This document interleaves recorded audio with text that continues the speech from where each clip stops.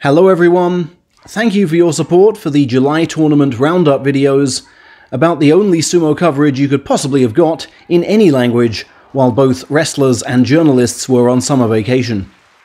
But I finally have some news stories to bring you today.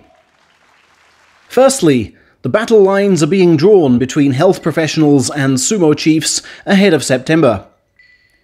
With virus infections out of control and the government's narrative smashed to smithereens, the Japan Medical Association has called for venues such as the Kokugikan to be converted into emergency treatment centers. However, Sumo Press Chief Shibatayama is adamant that sumo must come first. September tickets are on sale as usual, and attempts to ban fans from attending will be resisted. Look at our proud record of staging large scale fan events. Shibatayama boasts. Zero infections in seven tournaments, apparently. For the record, Tokyo infections now average well over 4,000 per day, with the number of tests, according to these websites, still 6 to 8 times lower than the UK and France. The wrestlers, we learned in a tiny report buried inside Sankei Sports, received their second jabs while the Olympics were underway in early August. We presume their coaches did so too. However, coach Hatachiyama of Kasugano Stable did test positive last week, meaning all must stay on their guard.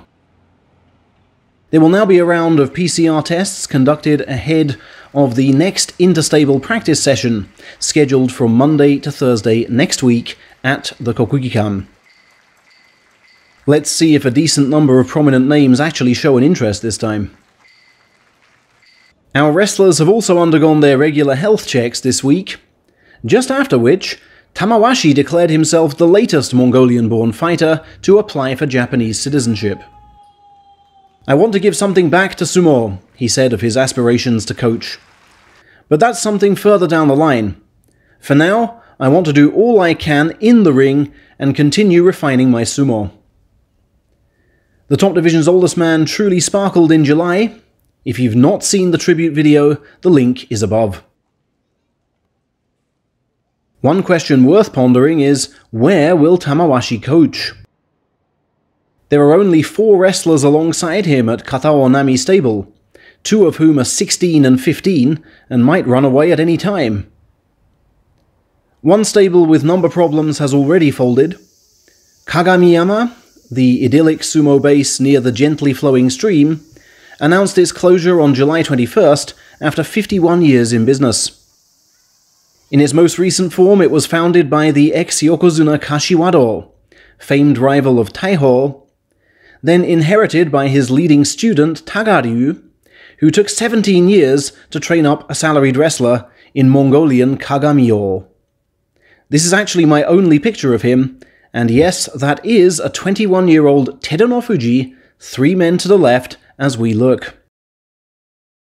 Except for the couple of weeks in 2019 when Kakuryu and two others lodged there after the death of coach Izutsu, for the past 13 years, amazingly, the stable has survived with just Kagami-o and one other wrestler, the master's son, Ryusei.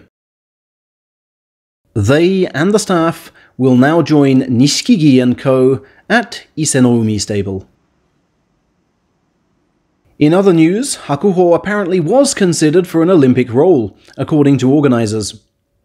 His name came up as a candidate for the final group of torch relay runners inside the stadium at the opening ceremony, but was dropped sometime before. The reason given is unconvincing though. Nikkan Sports claims it was because wrestlers who withdraw from tournaments should not be showing up at other events, as Asashoryu did 14 summers ago. But as you all saw, Hakuho had returned to the ring with a vengeance by the time of the opening ceremony.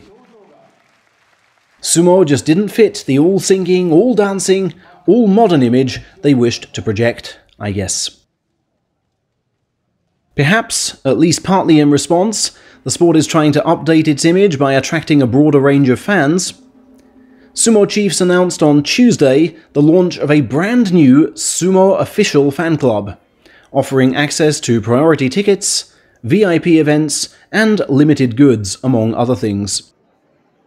There are five grades of membership to apply for, the lowest around $60 a year, and the highest, of course entitled Yokozuna, over $3,000 a year. And entitling 30 wealthy members to a metal membership card, signed rankings charts, New Year's cards, and birthday greetings from favourite wrestlers and coaches. I'm sure they'll be grateful for the added workload. I understand what Sumo is trying to do, but it must be careful not to break the more authentic links between stables and neighbourhood fans and wrestlers and their hometowns, which see genuine, passionate support transferred from father to son and mother to daughter. Finally, Takatoriki claims he is about to be sued by the Sumo Association for a number of YouTube posts deemed to be defamatory. It really is take your pick.